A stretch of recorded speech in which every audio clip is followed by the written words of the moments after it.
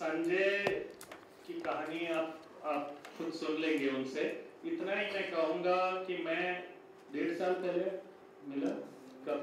दो साल। दो साल हो गए। दो साल पहले संजय इस दुनिया में घुस के पीछे पड़ा कि कहीं ना कहीं कोई मदद करने वाले मिल जाए। और मुझे शायद 20 बार फ़ोन किया होगा उसने तब जाके हमारी मुलाकात हुई क्योंकि उसने छोड़ा नहीं। आ, और फिर ये एक्स्ट्रॉर्डनरी स्टोरी ये खुद ही बता देगा। लेकिन इतना ही कहूँगा कि संजय के गाँव में अभी शंकर और मैं गए थे लगभग एक महीना पहले। तो वो नरेगा का एक बहुत ही ज़बरदस्त, बहुत लंबा कहानी है तो मैं उसको पूरा नहीं बता सकता हूँ। लेकिन लगभग पचास साठ गाँव होंगे जो इससे जुड़े हुए हैं। रोज़ गाँव के लोग आ रहे हैं, ट्रैक्टर में भर के ये चीज़ों को टेक्नोलॉजी इतना नहीं, लेकिन नरेगा में अपना हक पाने के लिए और संगठन बनाने के लिए दूर दूर गाँव से आ रहे हैं और उनमें से 80 से 90 प्रतिशत महिलाएँ हैं। मैं इतना ये कहना चाहता हूँ कि उनका पूरा संगठन लार्जली महिलाएँ हैं। ये एक समझ बनाने के लिए, क्योंकि टेक्नोलॉजी एक ज़रूर ज़रिया बना, लेकिन अंत में वहाँ एक struggle even NREGA very often we actually से as a women's programme because there are so many women in it and it needs to be looked at in that kind of sense. So sanjay. हाँ, नमस्कार मेरा नाम संजय है। पूरा नाम संजय सानी है। तो हम्म, अभी हम ज़्यादातर टेक्नोलॉजी बात कर रहे हैं और आधा घंटा से हम सुन भी रहे थे कि टेक्नोलॉजी टेक्नोलॉजी जितना दूर था मैं टेक्नोलॉजी से आज मैं उतना ही नज़दीक में आ चुका हूँ। मैं बहुत ही दूर था, क्योंकि हमें ज़रूरत भी नहीं थी टेक्नोलॉजी की। मैं तो एक इलेक्ट्रिशियन था। मैं बिजली का काम करता, किसी के घर में जाकर उनकी स्विच ठीक करता, पचास रुपये लेके घर आ जाता। मुझे क्या ज़रूरत थी टेक्नोलॉजी की? और आराम से ज़िंदगी जी रहे थे, क्योंकि रोज़ छः सौ, सात सौ रुपये शाम तक कमा के आ जाते थे। और घर पे अपना बीवी बच्चे के साथ दिल्ली में आराम से रहते भी थे। बट उसी के दरमियान जैसे अब हर एक परदेसी अपने गाँव जाता है घूमने के लिए, और हम भी जाते रहे बीच बीच में। तो ढाई साल पहले, तीन साल हो गया मोटा मोटी तीन साल पहले मैं इसी तरह घर जाके अपने गाँव में घूम रहा था रोड पे ऐसे ही। तो कुछ कुछ मजदूर बातचीत आपस में करते थे कि हमारा तो पैसा नहीं मिल रहा है और हमें काम नहीं मिल रहा है बट हमें समझ भी नहीं आ रहा था कि वो क्या कहना चाह रहे हैं। और हमको नहीं सुना रहे थे, बल्कि वो खुद आपस में बात कर रहे हैं और हम सुनते हुए जा रहे थे। तो उसी के पाँच सात दिन बाद मुझे घर आना था, यहाँ दिल्ली आना था वापस घर से। तो जहाँ पर हमारा खोखा था बिजली का, वो ठीक उसी के सामने एक साइबर कैब भी है।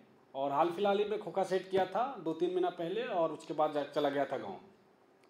लेकिन मेरे अंदर ये चीज़ ज़रूर थी, मैं पढ़ाई नहीं किया ज़्यादा, मैं केवल सातवीं क्लास तक पढ़ा हूँ और इंग्लिश भी नहीं आती मुझे ज़्यादा। आज तो बहुत थोड़ा सा ईमेल उमेल करना सीख गया मैं।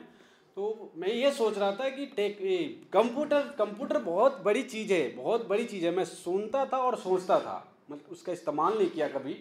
तो वो एक दिन मैं अचानक, मेरे दिमाग में आया बात वो नरेगा का याद, गाँव का, मजदूर का। तो मेरे पास काम नहीं था उस दिन, दुकान पे बैठे थे आराम से तो दिमाग गया हमारा वहाँ। हम चले गए साइबर कैफ के यहाँ, और वहाँ आज भी जनकपुरी में ही है, वहाँ पर दुकान है, वही साइबर कैफ है, सरदार जी का है। तो सरदार जी बैठे थे, मैं जाके कंप्यूटर के बगल में खड़ा हो गया, और वो थोड़ी देर खड़ा रहा तो सरदार जी मेरे पे घूमते रहे कि भाई, क्यों खड़ा है यहाँ पर? तो पूछ रहे, क्या बात है? मैं कुछ नहीं, मैं खड़ा हूँ यहाँ पर, कुछ नहीं कर रहा। तो मैं चुपचाप खड़ा रहा वहाँ। वहाँ पे जो कुछ लोग साइबर कैब थे तो कस्टमर लोग कंप्यूटर पर बैठे थे तो उनको मैं देखता था लगातार, वो जो सबसे नीचे गोल चक्री गूगल का होता है, उस पर वो क्लिक मारते थे और थोड़ी देर में वो एक बॉक्स बनता था और उसमें कुछ टाइप करते थे। ये मैं ज़रूर देखता था उनको। तो वो थोड़े दस पंद्रह मिनट में वो खड़े हो गए, वहाँ से उठ गए और उठने के बाद मैं वहाँ पर बैठा। जैसे ही बैठा, सरदार जी एकदम गुस्सा हो गया मेरे पे, क्योंकि उनको पता था कि इसको तो कुछ नहीं आता कंप्यूटर में, हमारा कंप्यूटर खराब करेगा।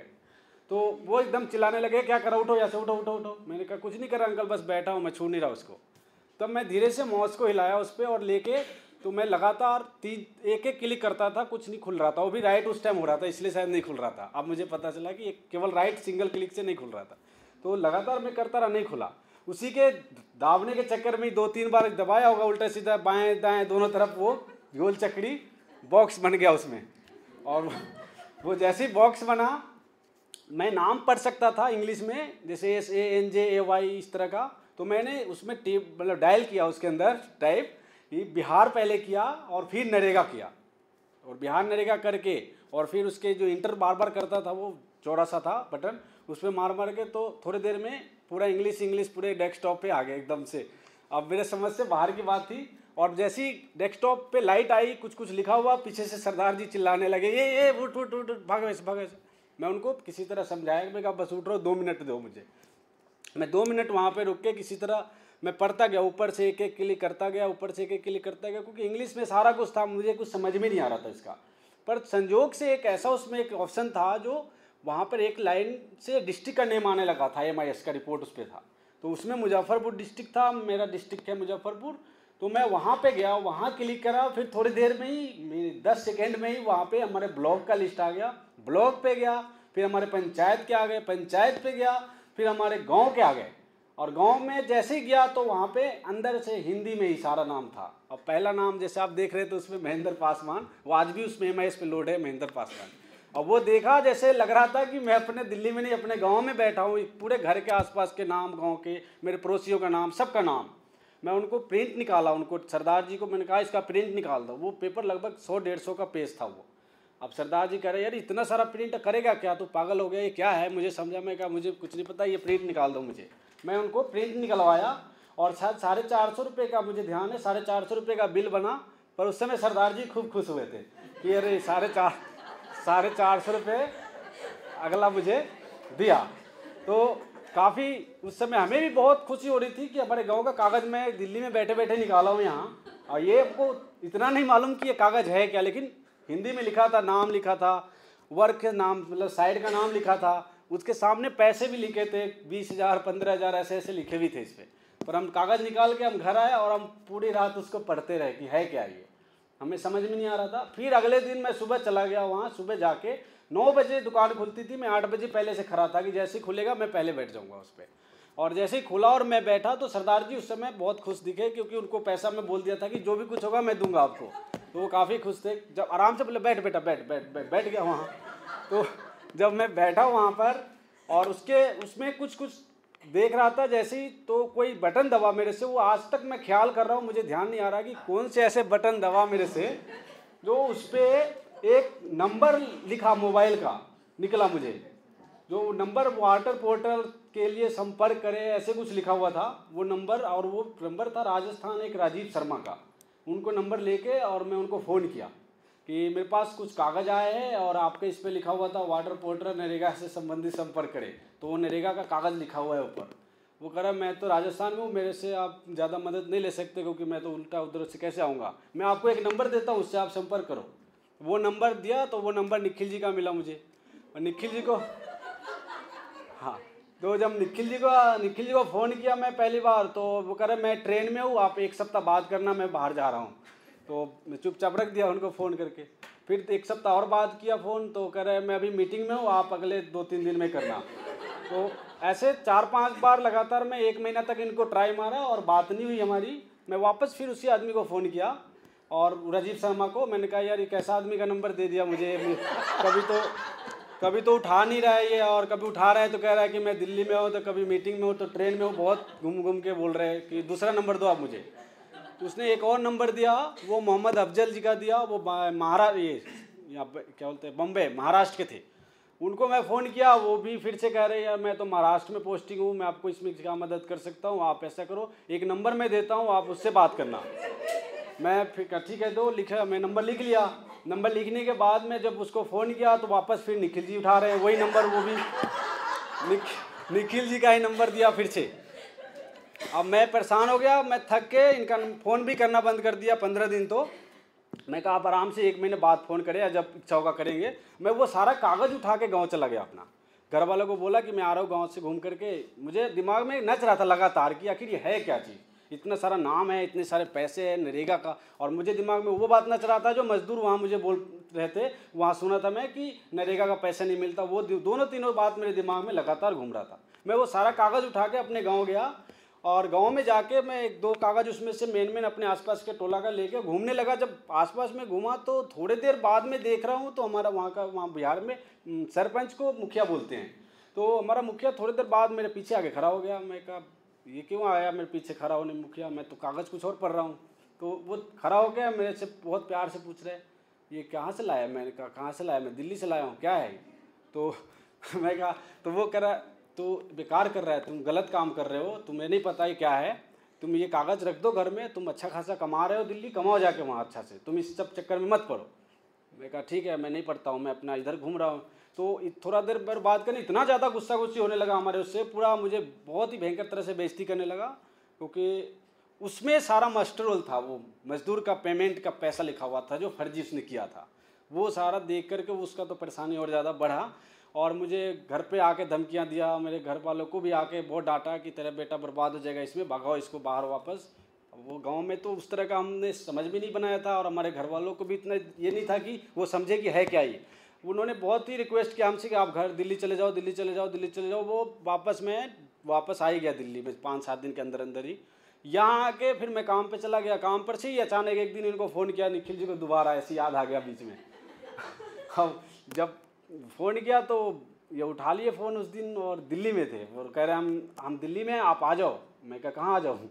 तो आ जाओ हौज खास आ जाओ टू सेवेंटी एट अपना एड्रेस दिया। मैं कहा, ठीक है, आता हूँ। मैं काम छोड़ा उसी जगह और यार जो मेरा टूल्स थे, फटाफट गया, दुकान में बंद किया और भाग के पहले हौज खास गया और इनसे मिला मैं जाके। और सारा कहानी बताया कि ऐसे ऐसे कागज़ है मेरे पास और मैं गाँव में भी गया, वहाँ पे बहुत मुखिया मेरे पे बिगड़ रहा है, मैं करूँ से क्या करूँ? हमारी परिचय हुई, उसके बाद इन्होंने पटना में उसमें प्रिंसिपल सेक्रेटरी संतोष महतो थे, उनसे बात करी और हम चले गए पटना ही सीधा। अब पटना गए, पटना जाने के बाद वहाँ पर प्रिंसिपल सेक्रेटरी बहुत ही अच्छे ऑफिसर हैं तो वो जैसे ही हमने कागज़ दिया उनको और एक चिट्ठी भी लेके लेके गया था, वो दिया, वो कह रहे कि आपके साथ में भेज देता हूँ, यहीं से जाँच, इसके साथ चले जाओ आप। मैं कहा, भेज दो। मुझे इतना नहीं पता था कि वहाँ जाँच होगी तो मारपीटाई भी होगी क्या, या कुछ होगा क्या, मुझे इसका आइडिया नहीं था। और मैं खुश हो गया कि वो जाँच होगा, अच्छी बात है। तो नहीं, आप ऐसा करो, सुबह आप निकलना, आपके साथ साथ जाँच भी जाएगी। तो मैं चला गया साथ साथ तो पहले उसमें मैं एक ऑप्शन दिया था कि हम जाँच एक सप्ताह बाद कराएँगे, हम पहले दीवार पे वॉल पेंटिंग कराना चाह रहे हैं कि जो आपके पंचायत में सूचना है, वो लोग पढ़ सके, वो दीवार पे आप लिखवाओ। तो मैं शाम तक घर पहुँचा, मैं देख रहा हूँ, दोपहर में ही वहाँ पे वॉल पेंटिंग हो रहा है, दोपहर में पेंट से करा जा रहा। संतोष, मैं तो उसी टाइम इमीजिएटली ऑर्डर दिए जिला कलेक्टर को और वो करा रहे थे। अब जैसे ही घर पर गया तो उतनी कपड़ा भी चेंज नहीं किया होगा कि हमारे यहाँ मुखिया आके हमारा खड़ा हो गया दरवाजे पे। और करा फिर से तू आ गया दोबारा। मैंने कहा, मैं क्या कर सकता? मैं कुछ कर रहा हूँ आपको। मैं आया हूँ यहाँ घूमने के लिए। मेरा गाँव है तो नहीं आ सकता। तो करा, नहीं, सारा कराया तेरा है। अब वो दीवार पे सारा का नाम लिखवा रहा है। तू ही लिखवा रहा है। मैंने कहा, मैं क्यों लिखवा रहा हूँ? मैं कुछ करने थोड़ी ना आया। मैं तो ऐसे घूमने बहुत सारा हमें संघर्ष करना पड़ा जगह जगह बेजती उठानी पड़ी हमें और लोग भी हम पे विश्वास नहीं करते थे क्योंकि उनको पता था ये एक बिजली मिस्त्री है और दिल्ली में कमाता है और हो सकता है ये अपने लालच में हमें भड़का रहा होगा यहाँ गाँव में आकर के उल्टे सीधे कागज़ दिखा के, इसलिए लोग मुझे पे कोई विश्वास भी नहीं कर रहा था। किसी को बताओ वो तो वो अलग ही हमको कहता तो दिमाग खराब है क्या? हम काम किए है नहीं या तू कह रहा पैसा ले, तुरा निकला हुआ है, तेरा पैसा बना हुआ है इसमें।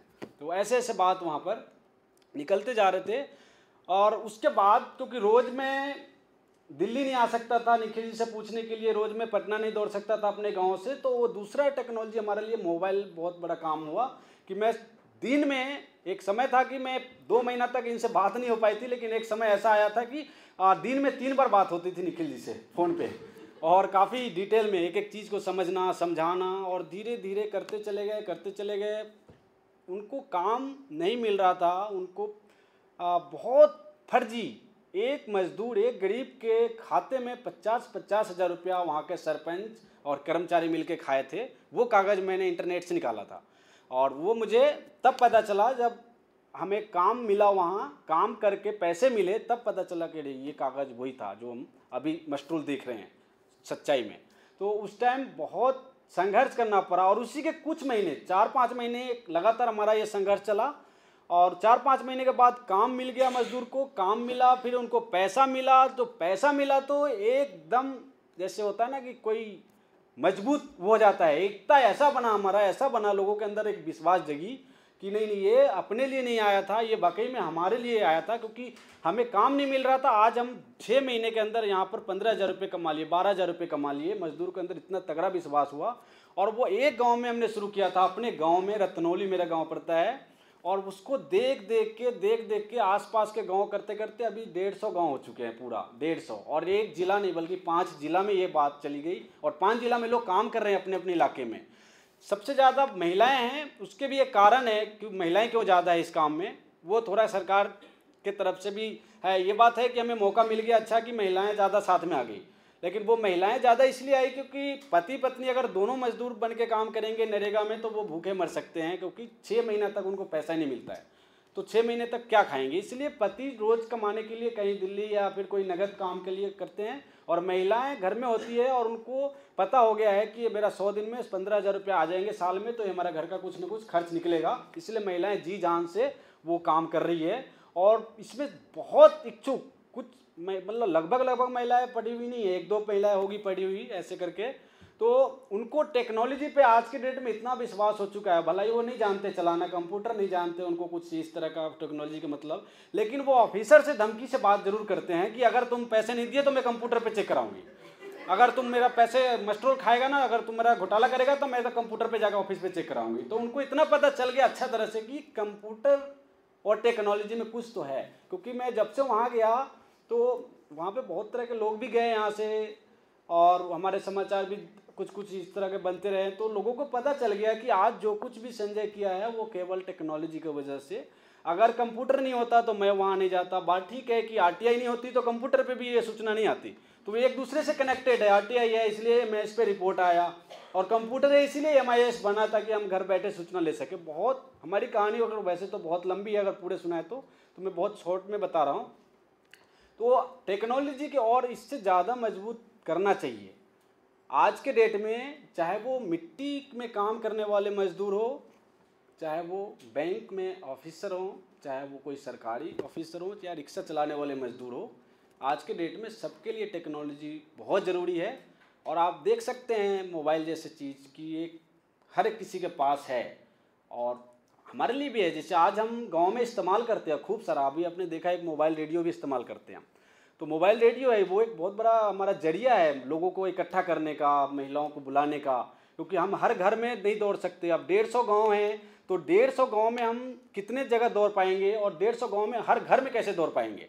इसलिए हमने वहाँ पे हमको सपोर्ट मिला, एक आवाज़ वेबसाइट है और मतलब एक जगह फ़ोन करते हैं और वो फ़ोन सब जगह पहुँच जाता है सभी लोगों के पास, जिसको हम जोड़े हुए हैं। और हर घर में मोबाइल है, इसलिए पहुँच जाता है।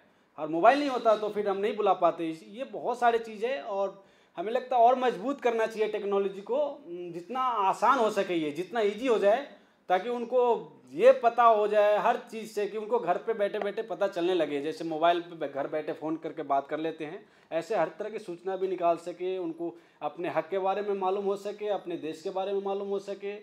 और ये मोटा मोटी बात है। धन्यवाद